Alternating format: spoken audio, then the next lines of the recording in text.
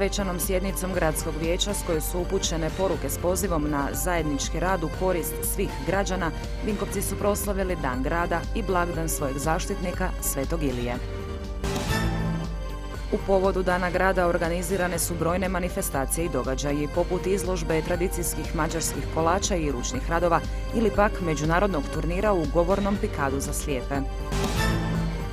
Vinogradi su u fazi zriobe, a vinogradari skidaju zaperke i obavljaju zelenu rezidbu.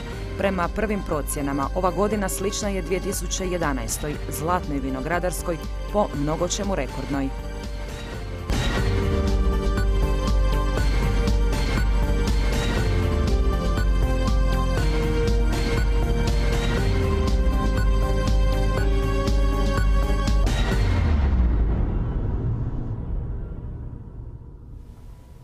Dobra vam večer na početku dnevnika.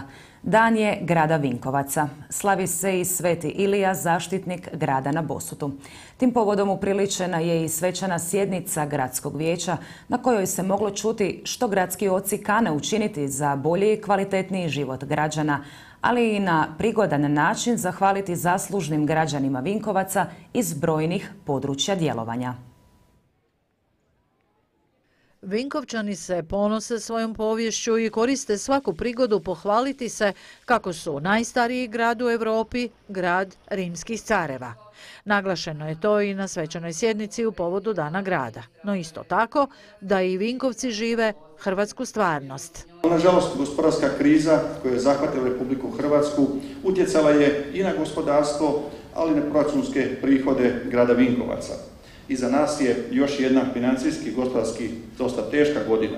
Obilježena je smanjenjem broja nezaposlenih, ali nažalost i odlaskom dijela naših Vinkovčana iz grada. U sljedećem vremenu moramo puno više raditi na tome da naše Vinkovčane iskoristimo za razvoj grada, da im damo priliku da se razvijaju u našemu gradu, da im damo priliku da ovdje odrastaju njihova djeca, da se ovdje školuju, da budu zadovoljni sa svojim životom u našem gradu.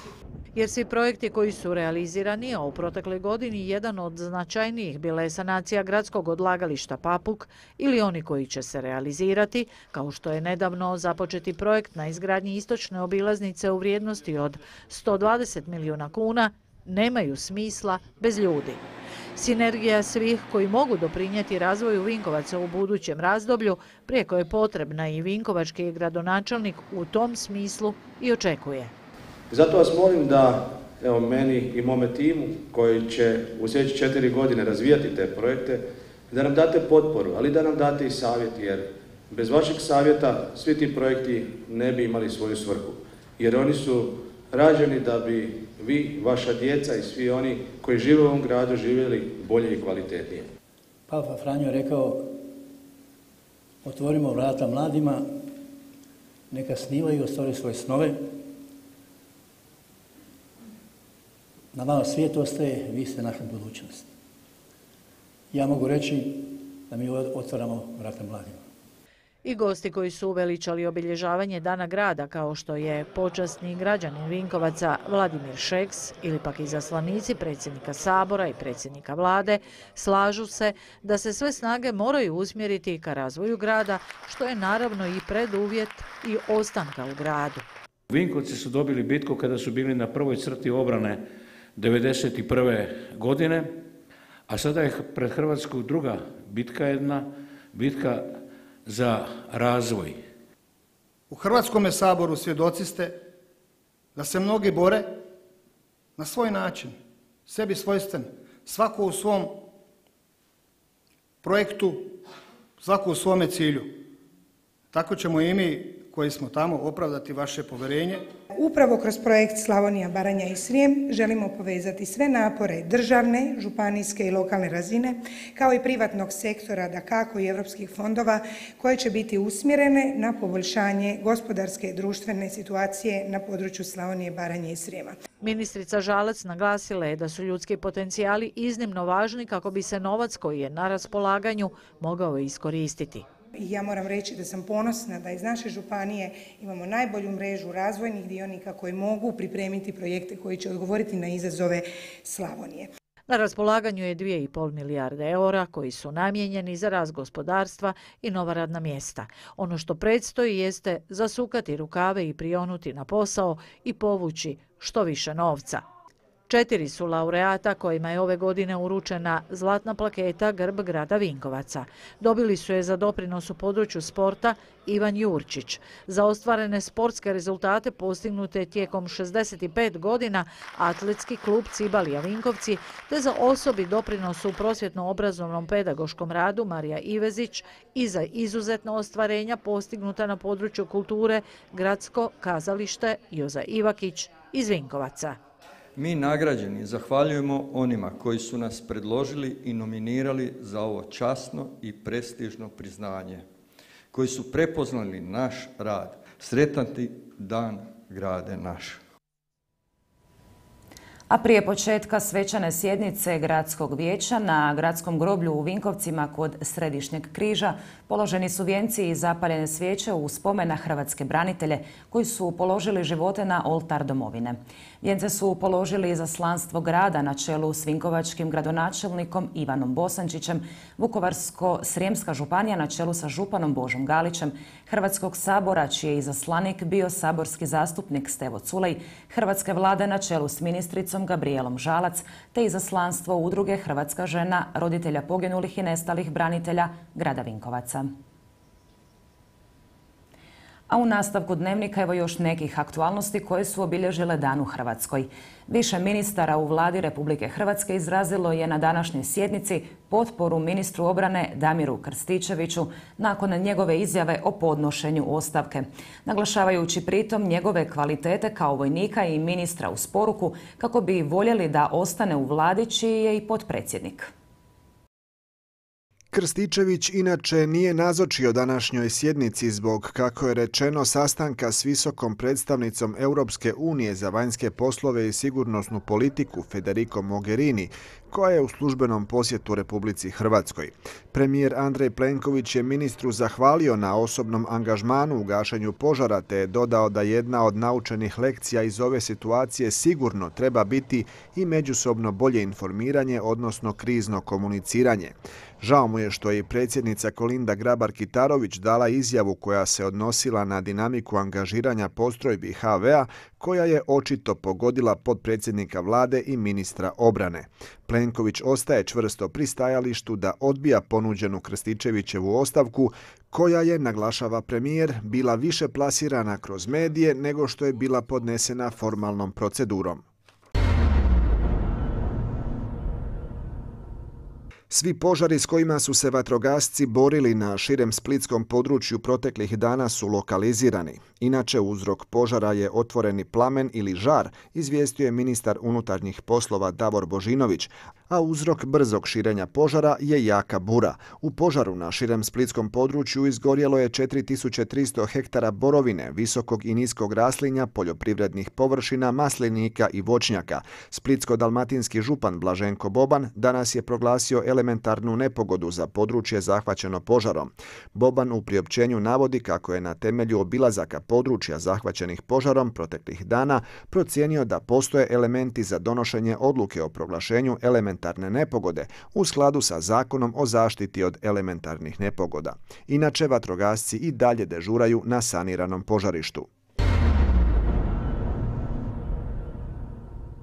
A zbog šteta uzrokovanih požarima koji su posljednjih dana prouzročili velike materijalne gubitke na poljoprivrednim površinama, Ministarstvo poljoprivrede donosi pravilnik koji definira uvjete prihvatljivosti za korištenje mjere 5, podmjere 5.2, obnova poljoprivrednog zemljišta i proizvodnog potencijala narušenog elementarnim nepogodama, nepovoljnim klimatskim prilikama i katastrofalnim događajima iz programa ruralnog razvoja Republike Hrvatske.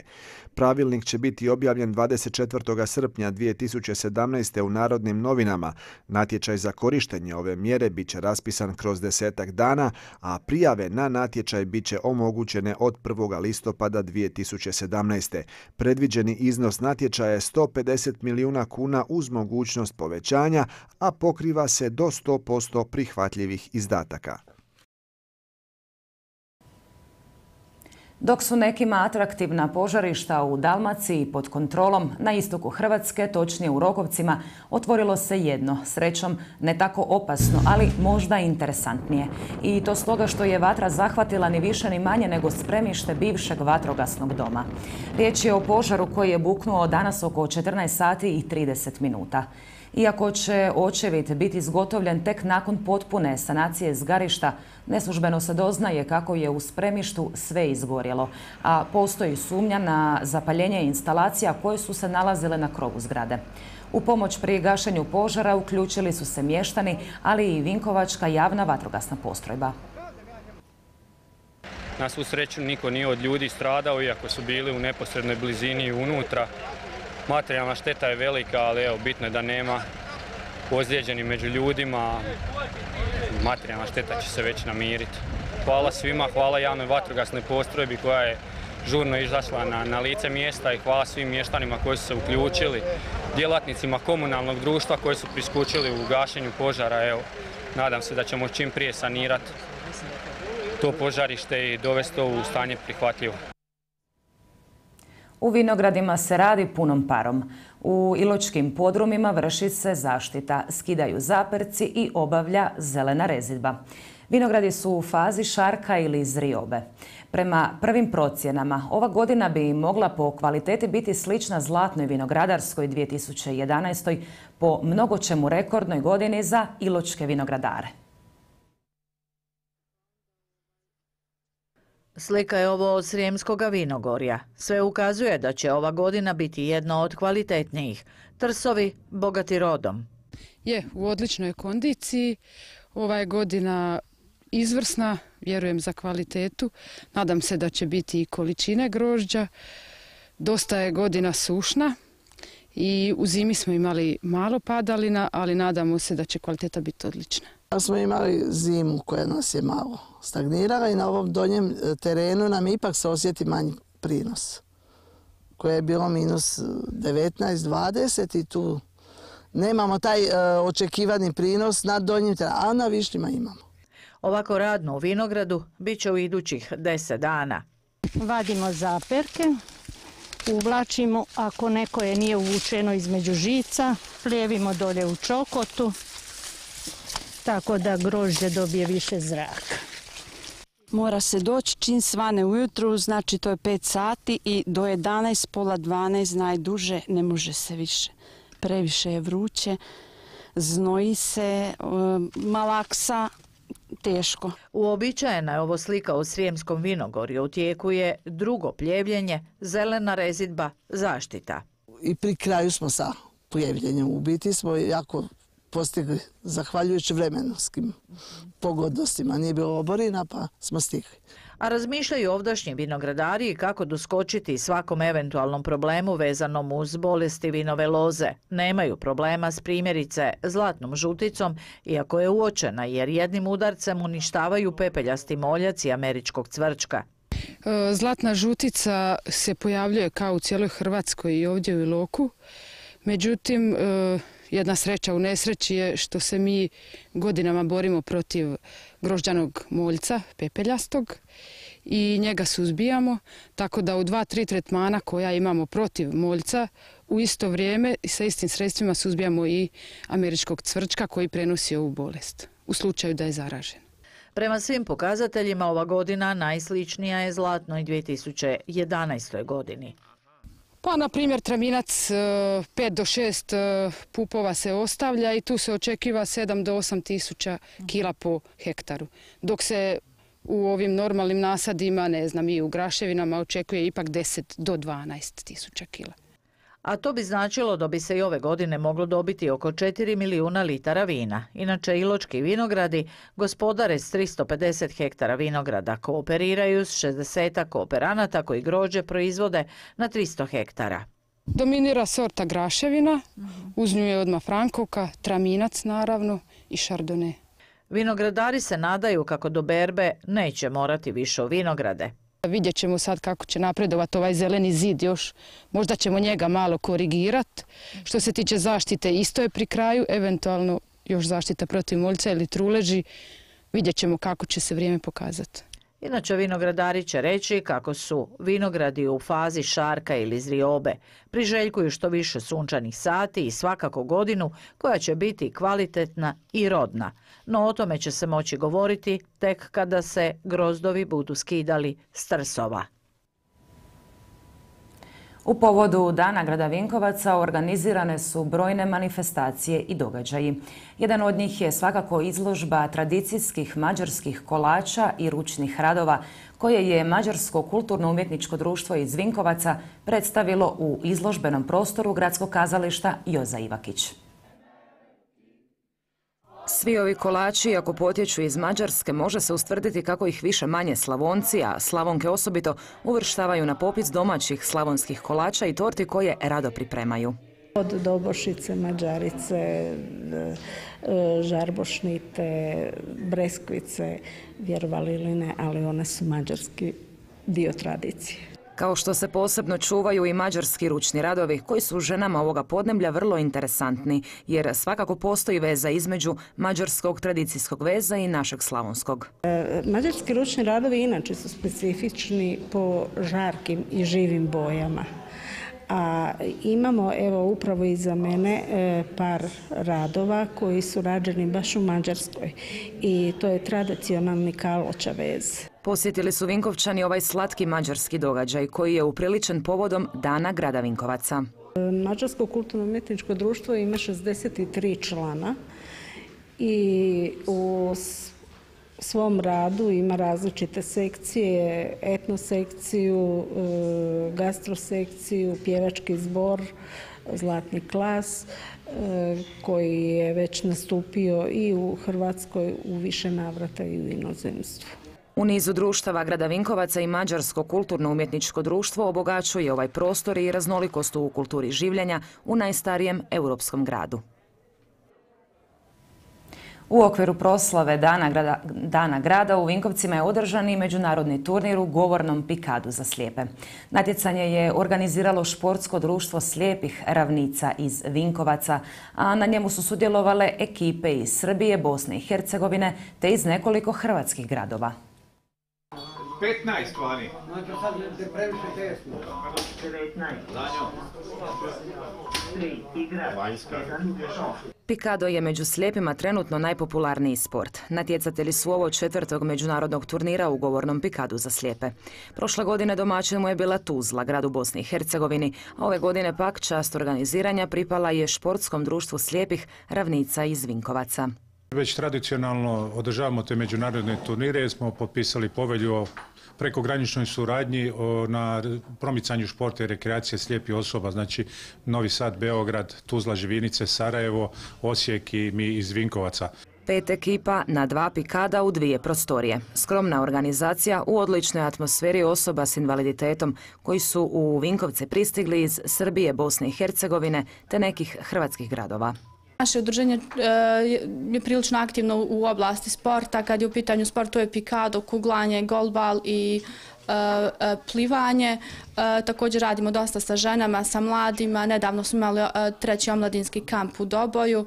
Imamo također saradnju sa drugim udruženjima i prilično smo aktivni u svim, ja mislim, oblastima osoba s invaliditetom. Uvijek je napeto jer Pikado mogu igrati svi bez obzira na godine starosti, bez obzira na njihov oštećenje vida. Znači postoje dvije kategorije, kategorija potpuno slijepi i oni sa ostatkom vida, to su oni do 5% ostatka vida. U organiziranju ovog turnira pripomogao je grad Vinkovci, koji je prijavom ovoga projekta Društvu slijepih grada Vinkovaca financijski pomogao. Zadovoljstvo nam je da, evo, da smo domaćini naš grad ovog međunarodnog turnira, osobito danas kada je i dan grada i kao što je gospodin već rekao, neka najbolji pobjedi. Evo. Članovi Vinkovačkog športskog društva slijepih ravnica prošlu su u godinu bili prvaci druge lige u Pikadu za slijepe. Budući da igrom dokazuju da mogu ući u viši rang, financije su te koje ih koče u ostvarenju njihovih snova, jer niti jednom društvu nije jednostavno financirati ni malo jeftina putovanja diljem Hrvatske, a kamoli izvan granica. I unatoč svemu ovo društvo nastoji proširiti lepezu sportskih i rekreacijskih aktivnosti za svoje članove, usprkos invaliditetu jer oštećen vid za njih nije prepreka. Još jedan događaj u povodu obilježavanja Dana grada Vinkovaca bit će upriličen večeras u 21 sat, kada je zakazan početak koncerta grupe Kolonija i gostiju, tamburaških sastava Sinovi Ravnice i Slavonija Band. Ovom informacijom dnevnik smo priveli kraju. Ostanite i dalje uz naš program. U 20 sati slijedi emisija Aktualno u kojoj gostuje politički analitičar, savjetnik i komentator širojavnosti poznatiji kao bivši ideolog Mosta Ivica Relković. Hvala za pozornost, ugodan nastavak večeri.